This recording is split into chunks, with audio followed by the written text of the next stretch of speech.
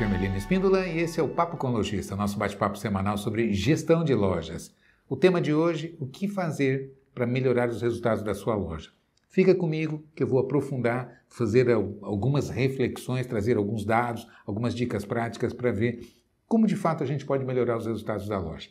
Beleza? Então é isso. Antes de começar, eu gosto sempre de lembrar você que se você está vendo a gente pelo YouTube, verifica se você já é inscrito no canal. Se não, faz isso agora, senão você esquece. Né? Deixa o seu like também, já faz isso logo, que aí é, é, para a gente é muito importante e para você não custa nada, né? Se você gosta de ouvir, é só você é, procurar a gente nas principais plataformas de podcast. A gente tem também no formato podcast, a gente publica toda semana, sai no canal e sai também o podcast para você que gosta de ouvir, que prefere ouvir. Eu sei que tem muita gente que gosta de caminhar, às vezes fazer exercício ou estar tá trabalhando e prefere ouvir o papo. Então está disponível também em todas as principais plataformas. Beleza? É só procurar Falando de Loja lá que você vai encontrar o, o Papo com Lojista também nesse formato. Mas vamos lá ao tema de hoje, que ele é, ele é importantíssimo, porque eu sei que tem muita gente aí, Ermelino, como é que eu faço? Eu preciso melhorar meus números, preciso otimizar meus resultados, não é?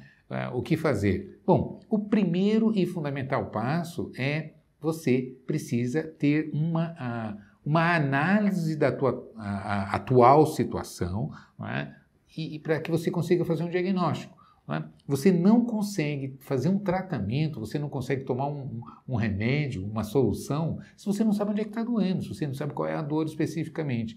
Então, é fundamental a gente começar. O primeiro passo é um mapeamento de situação, é? em todas as áreas, pelo menos nas três grandes áreas: vendas, financeiro e estoque. Então, eu preciso é, de uma posição sobre isso. Como é que estão as minhas vendas? Não é, não é só montante de venda, mas como é que está a qualidade da sua venda, como é que está o seu PA, é? quantos itens em média você vem conseguindo performar. Evidentemente que a gente sabe que existe uma variação na equipe, é? mas você tem o um número da loja. Então, qual é o seu PA, o valor médio do item vendido, para você ter uma ideia é? do, do, do, perfil de vendas que você vem fechando.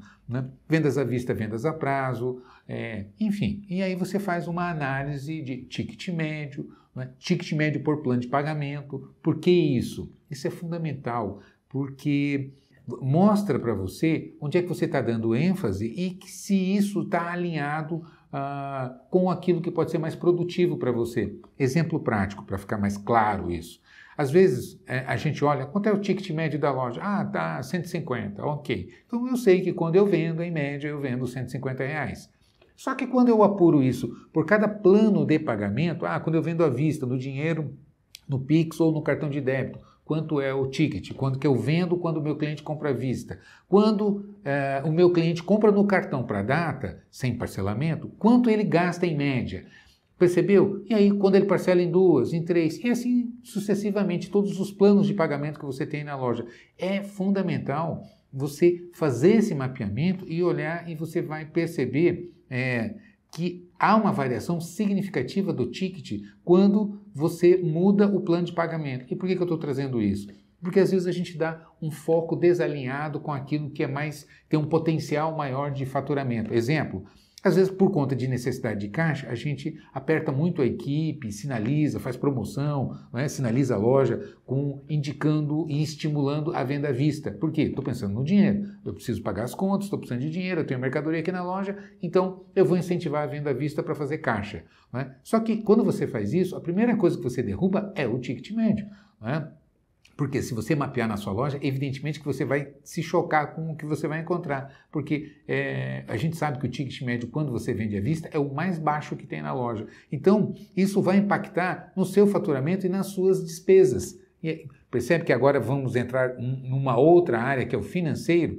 É? O financeiro, eu preciso ter um mapeamento, como é que estão as minhas despesas fixas, as minhas despesas variáveis, é? o meu fluxo de caixa. Então, como é importante a gente ter duas análises no financeiro? Uma análise que a gente chama de econômica e uma análise que a gente chama de financeira. É? Qual é a diferença, basicamente, entre uma análise econômica e uma análise financeira? A análise econômica, ela me retrata, ela me mostra como é que está a minha situação em termos de lucratividade e rentabilidade. Vamos entender essas duas palavrinhas também. Né? porque apesar de, de muito, muito parecidas, muito próximas, elas significam coisas diferentes. E às vezes até contraditórias, por incrível que pareça. Né? Então vamos lá. Então, quando eu faço uma análise econômica, eu quero saber como é que está o meu faturamento, como é que está o meu resultado líquido, como é que está a minha margem de contribuição, como é que estão as minhas despesas fixas e variáveis. É? é? essa visão que eu vou ter, o que não significa necessariamente a minha situação de caixa, minha situação financeira. É outro papo, é outra coisa. Por quê? Vamos lá, na prática, quando eu olho faturamento,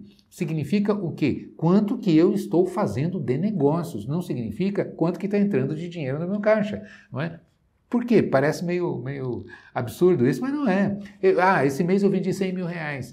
E se eu vendi 100 mil, tudo parcelado em 10 vezes no cartão? Quanto é o meu faturamento? É 100 mil. Ah, legal, faturei, bati minha meta aqui da, dessa loja. Né? Quanto entrou no caixa desse faturamento? Zero, zero. Por quê? Eu vendi tudo parcelado. Percebe? São situações distintas. Então, economicamente, ó, eu atingi minha meta, consegui o faturamento. Markup, bom, meu markup praticado foi ótimo, foi excelente. Por quê? Porque eu vendi a prazo, não dei desconto, trabalhei com preço cheio. Então, com isso, o meu markup foi excelente. Quando eu olho, então, e que eu puxo a minha margem bruta, a minha margem de contribuição, show, tá ótimo aqui. Né? Mas a hora que eu olho para o meu caixa, estou desesperado para pagar as contas. Por quê? Porque eu vendi, eu botei a mercadoria para fora, agora eu tenho que pagar aluguel, eu tenho que pagar folha de pagamento, eu tenho que enfim, honrar as despesas do mês e eu não tenho dinheiro. Né? Então, a minha situação econômica está excelente e a minha situação, a situação financeira está péssima. Por quê?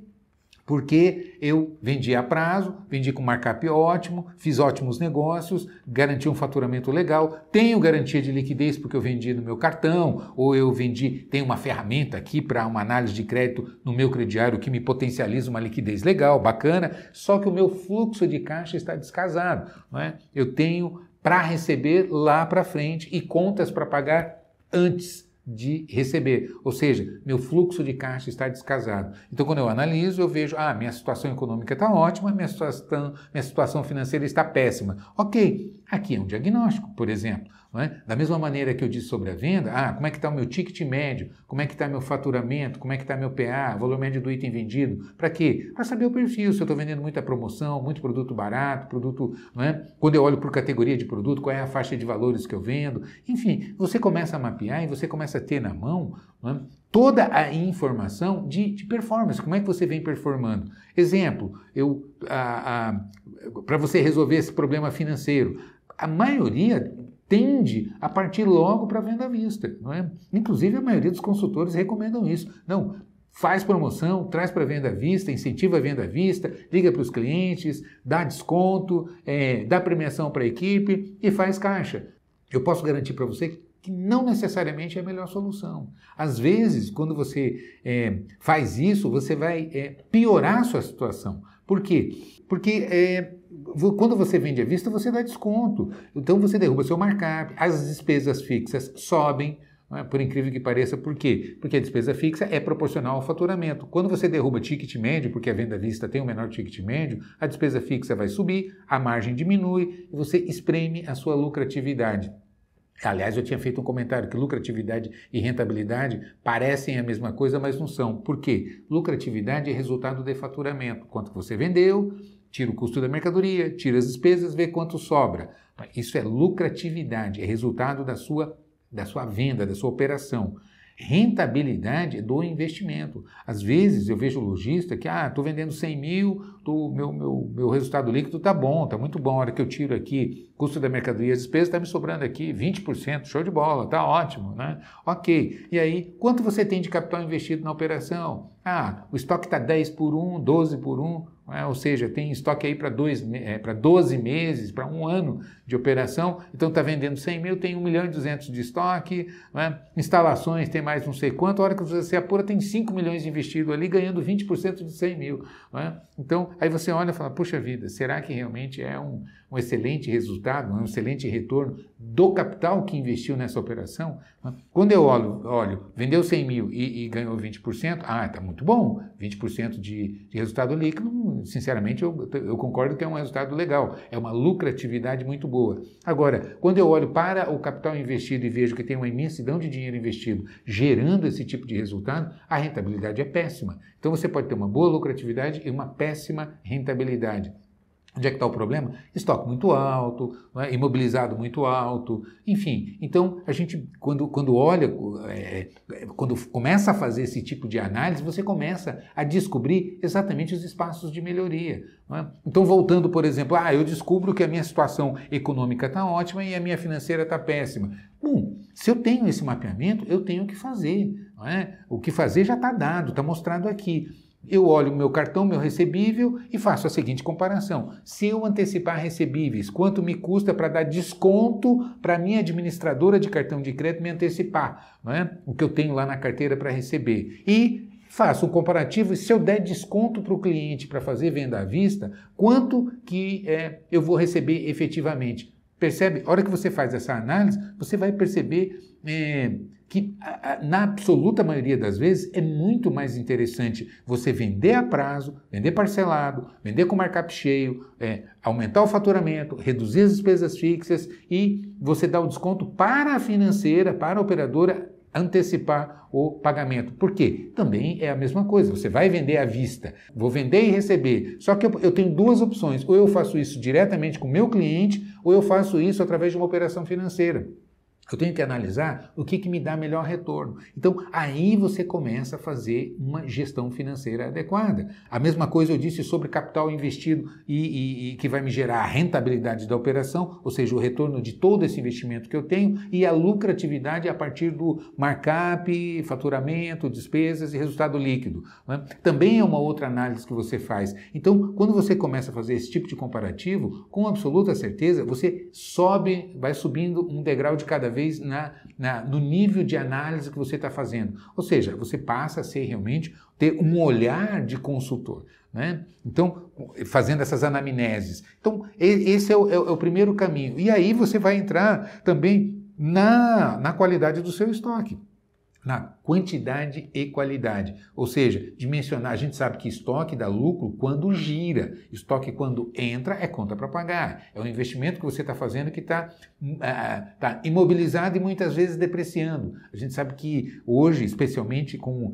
a, a velocidade de lançamento de novos modelos, é? a tecnologia aí atropelando a gente, então é muito perigoso o investimento em estoque hoje, porque você corre um sério risco de é, inchar o seu estoque, o, o giro fica lento, é? o retorno vai diminuir e correndo ainda um sério risco de ter que, para vender esse estoque, ter que dar desconto, fazer promoção porque o estoque envelheceu, o modelo não é mais o atualizado e aí é, as margens ficam sacrificadas. Percebe o que eu estou dizendo? Então você tem que dimensionar adequadamente qual é a sua cobertura de estoque ideal, sendo que eu, eu trabalho com duas balizas, dois limites, né? Um limite máximo e um limite mínimo. O limite máximo é o máximo de estoque que eu devo ter para potencializar meu giro. Então, isso cada operação tem é, é, as suas dimensões, não é? dependendo do segmento que você atua, o perfil de loja que você trabalha. Ah, eu consigo trabalhar com 3 por 1, não é? com 4 por 1, não é? 6 por 1, dependendo da logística, do, da, da, a gente chama de lead time, o tempo necessário que o seu fornecedor entrega o pedido que você faz. Tem gente que tem facilidade, compra e entrega imediato, ou vai buscar a mercadoria e já imediatamente consegue repor. Outras lojas que trabalham com algumas marcas, alguns fornecedores que você tem que fazer programação de pedido, não é? antecipada, às vezes 6 meses, 8 oito meses, dependendo do, do perfil da loja. Então, isso, óbvio, é óbvio que vai comprometer o seu lead time, você tem que ter uma margem de segurança. Então, uns conseguem trabalhar com um estoque mais, mais baixo, mais enxuto, potencializa o giro e consegue realmente uma, uma, uma, uma, lucratividade, uma rentabilidade muito maior, porque gira muito mais o estoque. Quem tem um lead time longo precisa ter margem de segurança nos estoques, ou então uma amplitude muito grande de mix. Né? Isso tudo vai influenciar. Então é importante entender amplitude e profundidade numa outra análise de estoque. E o que é amplitude e profundidade? Amplitude é a quantidade de categorias que você tem na loja, e profundidade é a quantidade, a variedade da categoria, né? quantos modelos, cores, tamanhos ganhos, marcas que você tem em cada categoria de produto. Então, como é importante você ter esse controle e fazer esse mapeamento? É isso que vai permitir que você tenha uma gestão de alto nível. Então, você precisa é, ter uma análise na venda, uma análise no seu financeiro, né, despesas fixas, variáveis, categorizar, classificar corretamente, ter um bom plano de contas, né, um bom controle financeiro. Você precisa ter um bom planejamento em gestão de categorias e estoques. Com, essas três dimensões, com essas três áreas, mais a área de. Eh, mais duas áreas fundamentais, que é a área de RH, que é a montagem do seu time, a capacitação, o acompanhamento, né, um plano de carreira que você desenvolve, a, a, um, modelo operacional que você trabalha com o seu time, com a sua equipe. É isso que vai fazer com que a equipe entregue resultados eh, de alto nível, resultados de qualidade. Então, é importante que você eh, trabalhe, tenha esse olhar, esse, esse investimento também dentro da equipe, fazendo as suas análises, como é que está, né? como é que você está operando, você está bem, você está alinhado, está capacitando, está trabalhando, está motivando, está tendo um plano de carreira dentro da empresa. Ah, Melino, mas eu tenho uma loja aqui, como é que eu vou fazer plano de carreira? Você pode fazer, você pode promover dentro da, da mesma função. Né? Você pode ter um vendedor júnior, um vendedor é, é, pleno e um vendedor sênior. Né? Ah, eu tenho três níveis aqui, então eu não preciso promover para uma outra função. Né? Né? Não, tem tempo, está batendo meta, ou então atinjo níveis salariais diferenciados, não é? ou então é, consigo ter um, um, um, VR, um vendedor responsável, que é um, subgerente, alguém que já tem um, algum adicional porque me ajuda a cuidar da loja, me ajuda a, a, a, a preparar os colegas, os companheiros para vender mais, para performar melhor. Enfim, ajuda a tomar conta da loja, pode abrir, fechar na folga de gerente. Enfim, é, você tem como organizar e olhar. A gente sabe que quem vai entregar resultados é o time, então eu preciso ter esse olhar também em cima do time. E o outro olhar é marketing, que hoje a gente sabe que é fundamental a comunicação com o mercado, com o nosso cliente. Então, redes sociais, é? a nossa marca, é? É, é? é, importante a gente tomar esses cuidados. Então, na verdade, eu falei de três dimensões de, de gestão direta, que é vendas, é, financeiro e estoque, compras e estoque, e mais duas de apoio que você precisa ter, que é a gestão de pessoas e o marketing, que você precisa cuidar para gerar o tráfego necessário, ou seja, atrair clientes para dentro da sua operação, para dentro da sua loja, para que você consiga converter. Não adianta você ter ótimas mercadorias, bom plano de pagamentos, você ter uma equipe capacitada se você não tem cliente entrando na loja. Então, esse é um desafio que eu preciso trabalhar, preciso estar preparado para isso. Como que eu vou fazer? Mapeando, vendo exatamente qual é o meu movimento, quantos clientes entram na minha loja, dos que entram, quantos eu estou fazendo o negócio. Isso eu sei, quantos, quantas vendas eu faço. Eu não sei, geralmente não se monitora, não se controla, é quantas pessoas eu não fiz negócio, eu não consegui fechar, que é o movimento, que é o tráfego. Não é? E hoje você tem ferramentas, inclusive na minha própria plataforma, se você entrar em falando de loja.com.br, eu tenho um sistema de controle de tráfego totalmente gratuito, inclusive com curso. Eu tenho um curso também na minha plataforma EAD né, que te orienta como você é, configurar um sistema, como você utilizar, cadastrar né, a, a, vendedores, os motivos de perda de venda, como lançar, como tirar o relatório e uma outra aula lá, como interpretar os relatórios. Então, se você não tem, se você não usa, é, não justifica, tá lá, é gratuito, é grátis, não, não, não te custa nada, é só trabalho e vai te dar uma informação poderosíssima que é a sua taxa de conversão. Quantos clientes estão entrando na sua loja e não estão comprando? Isso é um desperdício. Tem que fazer esse tipo de análise, tem que fazer esse tipo de acompanhamento. Porque às vezes a gente acha que o problema está no mercado, que o movimento está fraco, e você está com uma taxa de conversão lá de 35%, 40%. Ou seja, 60%, 65% do movimento das pessoas que entram na sua loja, você está desperdiçando, está perdendo venda. Precisa descobrir por quê. É por falta de mercadoria? É teu preço que não está competitivo? É tua equipe que não está sabendo converter? É plano de pagamento que não está adequado ao perfil de cliente que entrou na sua loja? Percebe? Então, é dessa maneira que você vai potencializar e crescer o seu negócio. Né? E ferramenta e pessoas treinadas. Então, é, fazendo um, um, uma boa análise. E esse é o papel do gestor, né? é fazer uma, é monitorar, é conduzir o dia a dia, mas dentro dos fundamentos básicos da administração, planejar, organizar, dirigir e controlar. Né? Essa é a, é, a, é a, definição, o que é administrar, se não planejar, organizar os recursos necessários físicos, financeiros, de pessoas, né? é dirigir, comandar, distribuir as tarefas,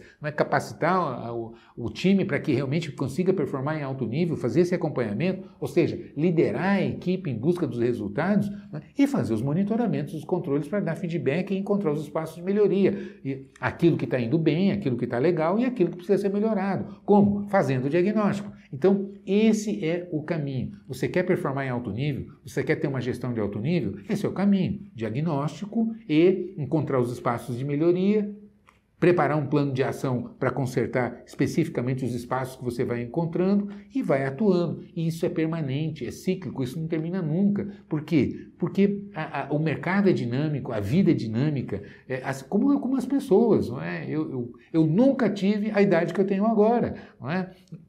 E amanhã não vai ser mais a mesma idade que eu tenho hoje, porque eu vou, eu estou vivendo. Enquanto eu estiver vivendo, a vida vai rolando e as coisas vão sendo transformadas. Não é assim? A empresa não é diferente. Então, é, é fundamental a gente ter essa consciência para que você consiga é, é, entender que administrar um negócio é primeiro, fazer uma análise como é que você, de performance, e isso você só consegue fazer com controles, com boas ferramentas. Não é? A gente sabe que você só vai performar se a equipe performar bem. Então, o sucesso da empresa é um, conjunto de sucessos individuais. Não adianta você achar que vai performar é, em alto nível, que vai ganhar dinheiro, que vai bombar, que vai ter sucesso, se os elementos da sua equipe estão com dificuldades. Então, eu preciso ter esse olhar e entender que eu preciso ter gente capacitada, comprometida com o resultado, querendo realmente vir vencer, crescer na vida. Não é? Como que eu faço isso, Hermelina? Eu não consigo encontrar pessoas capacitadas, treinadas. Então, se você não consegue encontrar pessoas capacitadas, Tá aí o desafio colocado. Você tem que capacitar, tem que preparar, encontrar as pessoas que pelo menos tenham potencial de desenvolvimento e trabalhar, criar as condições necessárias para que essas pessoas se desenvolvam. Não é? E nada é mais motivador do que sucesso, do que meta batida. Então, quando você contrata um colaborador que começa a performar bem, que começa a crescer, que começa a atingir os, os objetivos, as metas, é? nossa, sente vontade de, de continuar, de trabalhar, de, de gosta daquilo que está fazendo e você precisa reconhecer isso e incentivar trabalhar, remunerar, premiar, criar as condições necessárias, e aí você vai criando um time de alto nível, um time que vai performar em alto nível. Não é? Ou seja, é, é a gestão. Então, é, a gente dá a volta, dá a volta e cai sempre no mesmo ponto. É o líder, é o gestor que vai criar as condições necessárias para que a loja consiga performar em alto nível.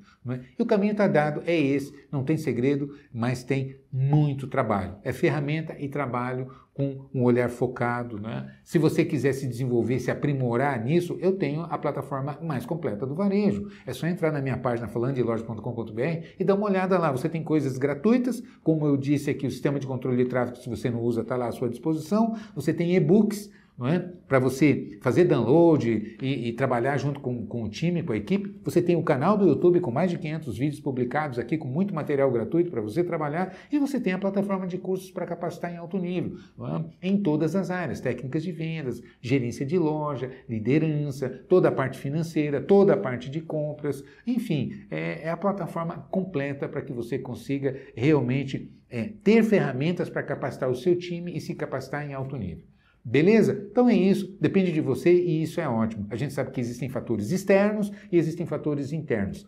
Os externos, infelizmente, estão é, fora do nosso controle, a gente não consegue intervir no clima, na, na política econômica, é, na política internacional, nas guerras que estão acontecendo por aí, a gente não tem esse, esse poder. Mas da porta para dentro tem muita coisa para fazer e aí é com a gente. Depende muito mais de ação, de atitude, de conhecimento, de decisão. Não é verdade? Então, isso é uma, é uma dádiva que acaba é, é, é, ocorrendo, nos pertencendo, que é esse poder de você intervir, de você trabalhar e conseguir performar é, é, em alto nível, preparar um time que vai conseguir entregar resultados de excelência, e isso é tudo de bom. A gente conquista mais clientes, a gente consegue os resultados que, que a gente precisa, que a gente merece, e a gente constrói um time engajado, um time comprometido, porque gosta de ter sucesso, sabe que trabalha numa empresa vencedora, que está conquistando seus objetivos. Não é verdade? Então é isso, pense nisso.